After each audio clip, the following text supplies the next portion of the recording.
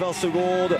Nous allons peut-être vivre un moment historique avec deux Françaises dans la finale du 400 mètres nage libre.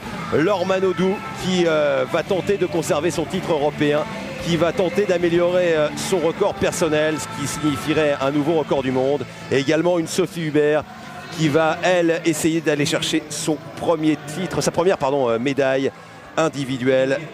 Laure des championnats d'Europe. Regardez, Laure Manodou, concentré, le choix du réalisateur qui ne s'y trompe pas.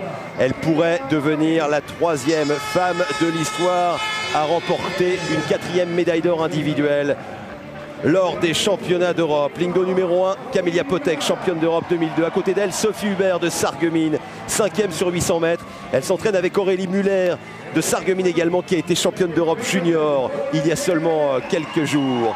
Johan Jackson, la Britannique, aura fort à faire avec à ses côtés.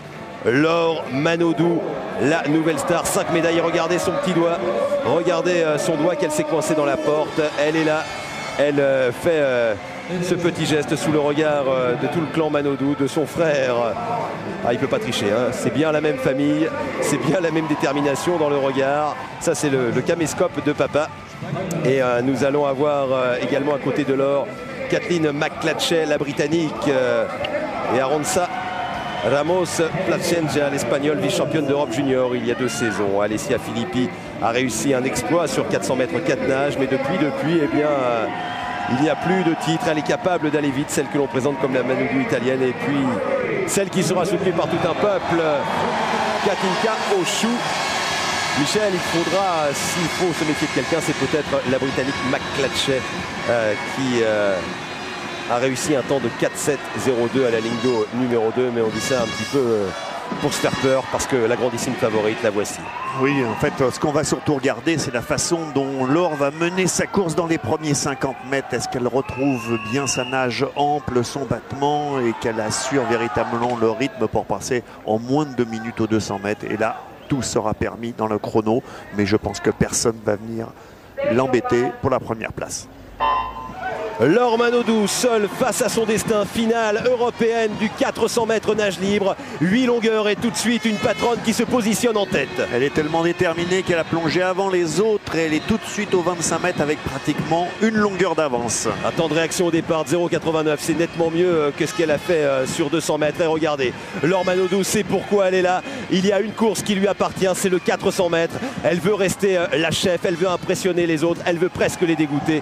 Et Laure Manodou qui pour l'instant euh, est en avance sur euh, son meilleur temps de passage. Ah oui, moins de 28 secondes, ça ne lui est jamais arrivé. Il semble en plus de ça qu'elle ait un rythme de nage qu'il ne soit pas trop rapide. Ça veut dire qu'elle prend bien son eau, ça veut dire qu'elle sent sa glisse, elle sent toute sa puissance dans l'eau.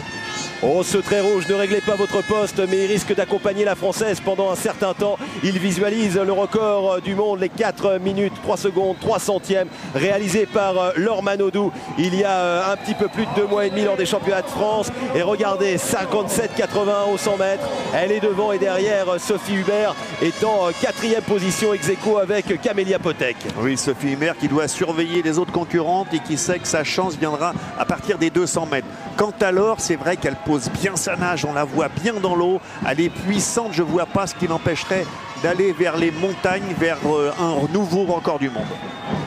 Nous allons attaquer euh, le cœur de ce 400 mètres avec euh, de l'avance qui est grignotée longueur après longueur. Laure Manodou qui est parti sur des bases rapides avec ce battement de temps, Michel. Ah oui, ça ne trompe pas parce que, parce que maintenant, à partir des 100 mètres, elle continue toujours à grignoter 50 mètres par 50 mètres. Et quand on sait la résistance qu'elle a, qu'elle a fait des progrès énormes sur 800 mètres, Laure est vraiment sur la bonne trajectoire pour un nouveau record.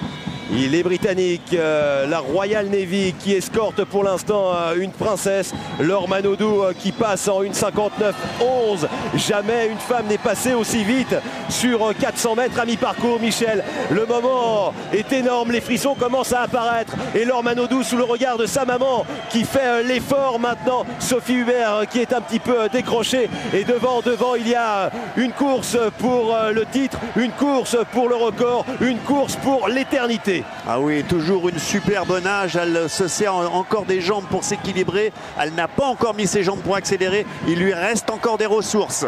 On est toujours euh, sur euh, cette avance euh, au record du monde. Manodou devant Jackson et McClatchay. Il y a une Française devant et le championnat de Grande-Bretagne derrière.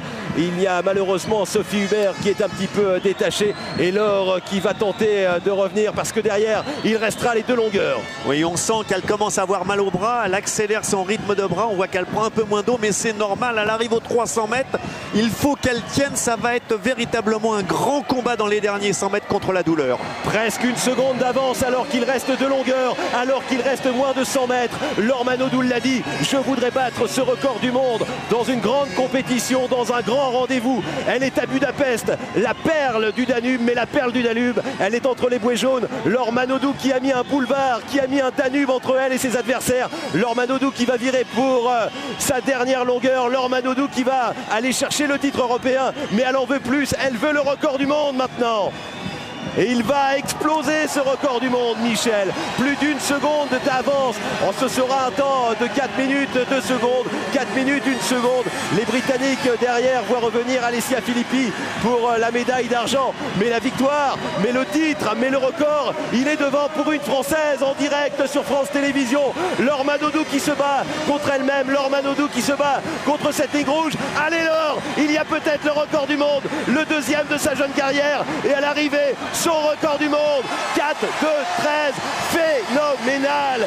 Laure Manodou est une extraterrestre, la plus grande nageuse française de l'histoire et est en passe de devenir peut-être la plus grande sportive française de tous les temps. Ah, la plus grande sportive française de tous les temps, très certainement, mais en tout cas, vraisemblablement, la meilleure nageuse de tous les temps, car elle a fait plein d'essais pendant le championnat d'Europe. Elle est venue se frotter aux quatre nages qu'elle ne connaissait pas. Elle est venue se frotter à des épreuves comme le 200 mètres qui était assez difficile, qui n'était pas dans le même rythme que son 400 mètres. Et là, après la 4400 mètres de course, elle bat son record du monde sur 400 mètres nage, libre. Son potentiel est encore plus important. Vivement le prochain 400 qu'on la voit nager moins de 4 minutes aux 400 mètres, ça sera plus qu'historique.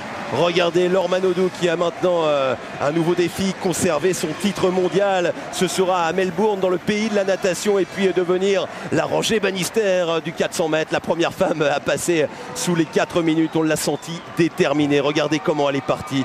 Sophie Hubert, elle a pris la 7 place et Joan Jackson prend la deuxième place en, améliorant son record personnel devant McClatchay. Les Anglaises, les Britanniques qui escortent la reine de ces championnat d'Europe. La sixième médaille pour Laure Manodou et la quatrième médaille d'or individuelle. Seules deux filles avaient fait cela auparavant. Une Allemande de l'Est, Geminger, avec euh, les méthodes que l'on sait en 1980 et la grande Christina Egerzeghi, c'était en 1993. Je crois qu'il n'y a plus grand chose d'autre à dire que c'est merveillé devant les exploits. Et quand je parlais des spécialités, j'avais oublié la nage sur le dos qui va lui permettre tout à l'heure de, qui va permettre tout à l'heure à l'équipe de France, encore une fois, de se placer sur les meilleurs, euh, dans la meilleure position parce que l'or est capable aussi de faire un exploit au 100 mètres. Et regardez Didier Poulmer, l'avocat de l'or, euh, en compagnie euh, d'Olga Manodou, qui regarde les temps de